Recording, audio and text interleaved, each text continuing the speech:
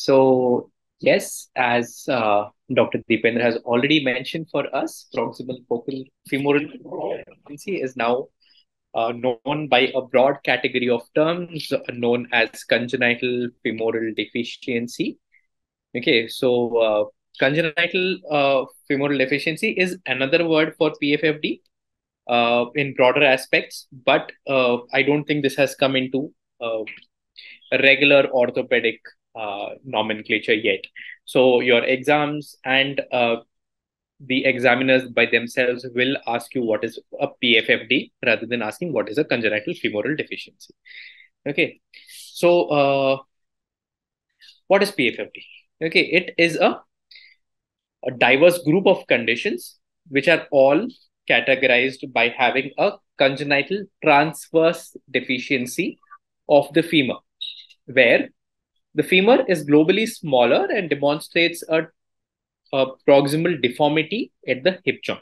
Okay. So this is not just one particular type. Many, many different diverse varieties are present. Okay. So the spectrum of presentation is wide and it involves differences not just in the bone and the joints, but also in the soft tissues, the neurovascular structures, etc. Okay. So uh, when we talk about this particular problem, that's PFFD, we are not just looking at the hip joint. Okay. So you could also be looking at a short femur with a fibular hemimelia, which could also be a form of PFFD. Okay. So it's not just within the femur, but also in the knee joint, also in the fibula and a tarsal coalition and or ray abnormalities can also be seen with the PFFD.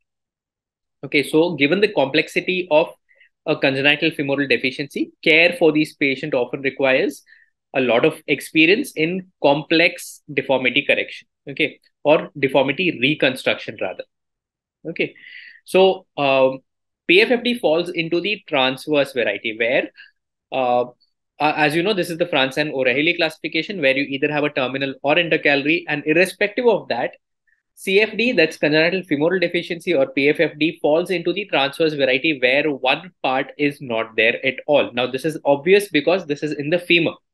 It is not in the forearm or the leg bones where you have a preaxial and a postaxial part. Okay, so this is a transverse type of deficiency where the proximal femur and or the rest of the uh, limb can be deficient.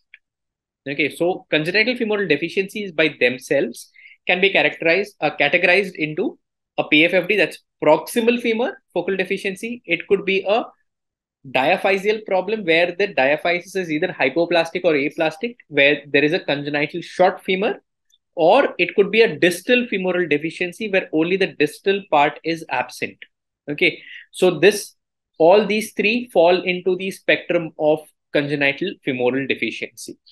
Now, this is an extremely rare condition, only 0.2 per 10,000 live births. And to talk about the etiology, it is postulated that it could be sporadic due to some maternal exposure to either trauma, ischemia, toxins, or viruses, generally between the fourth to eighth week of pregnancy, because that's the time where the hip and the proximal femur develop. Apart from that, there are other uh, etiologies. However, none of them have been proved. In a few conditions, even familial cases of congenital femoral deficiency and or other limb deficiencies have been seen. Now, coming to the, the clinical features, the first and foremost clinical feature or the most one of the most important clinical feature happens to be leg length or limb length discrepancy. Okay. Along with this along with this we will be able to see deficiency at the hip. Now we're talking about deficiency both at the acetabular side as well as on the femoral side. Now, on the acetabular side, we might be looking at either a, a hypoplastic hip, a dysplastic hip, no hip at all, or a normal hip. Okay, it could be the entire spectrum a normal hip, a hypoplastic hip, a dysplastic hip, and no hip at all. On the femoral side, we could be seeing a normal, normal femoral head we could be seeing a femoral head or neck, which is in coxa vara. We could be seeing a femoral neck pseudoarthrosis, or we could be seeing a femoral head which is fused to the acetabulum. All right. Then we have deficiency lower down. Okay, that could be deficiency both at the femur where you are having either a subtrochanteric pseudoarthrosis or and or you could be having a hypoplastic or short femur.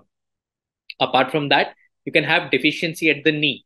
Now at the knee, you could either be having a lateral distal femoral hypoplasia, a knee cruciate ligament dysplasia or aplasia. That means both the cruciates, ACL, PCL, or both could be involved. The patella could either be dislocated, it could be hypoplastic, and there is also going to be some amount of rotational instability in these patients. Now, going lower down, they could also be having a deficiency in the leg, ankle, and foot. Now, this would be characterized by having a fibular hemimelia, a tarsal coalition at the ankle, not the ankle, at the subtalar joints, and at the foot level, there could be ray absence. Now, these ray absence need not just be the fourth and fifth toe, can also be the second and third toe. There could be a central deficiency or a lateral deficiency. And apart from all of these things in the lower limbs, other limbs are also important. And that's why contralateral limb involvement or upper limb involvement also has to be seen because it will help you understand the condition and to chart out how you are going to treat these patients because patients with multiple limb involvements may not do very well with a simultaneous correction and also it will be difficult to rehabilitate these patients adequately okay now coming to the uh, spectrum of these conditions. Now, all of these different X-rays that you see are having different acetabulum, different sorts of femur, different kinds of knee. There may or may not be tibia, fibula, and foot component problems. Upper extremities may or may not be involved. And we do not know how these soft tissues are, what muscles are active or absent, which uh, artery is present, etc. So this is a wide spectrum where all of these different things can be involved. Okay.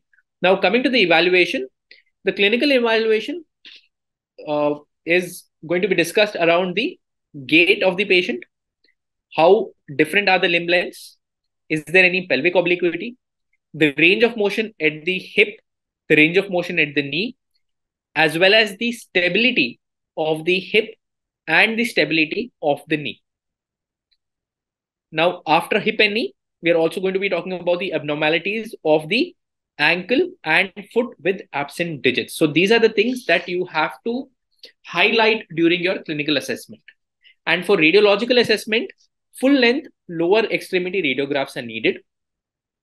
Especially AP and lateral views of the hip and femur are needed. If there is a fibular hemimelia and or ray deficiency, then extra views or added views for the leg, ankle and foot may also be needed. Now, CT and MRI will help us guide further treatment, but it's only for very complex reconstructions where we require them.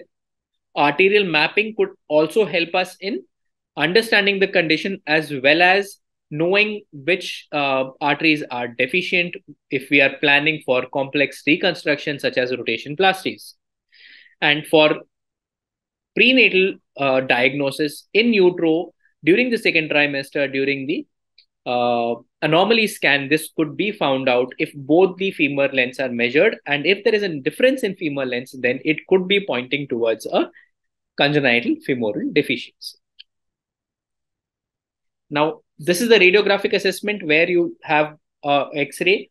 Uh, now you need two views for the femur in AP and a lateral view as well. As you see the X-ray, the distal femur is also very hypoplastic over here. The uh, if we come from top down, the acetabulum is looking very very it's it's literally absent over here. We have a very very wide teardrop. There is uh, no articulation between the femoral head and the acetabulum because even the femoral head is absent. The proximal femur is a tuft of tissue. Okay, is a tuft of tissue. We do not see any clear signs of pseudoarthrosis over here. Okay, so this would be a maldeveloped acetabulum with no femoral head and a tuft in the proximal end of the femur with a dysplastic knee joint. Okay. So uh, again, these are the different uh, uh,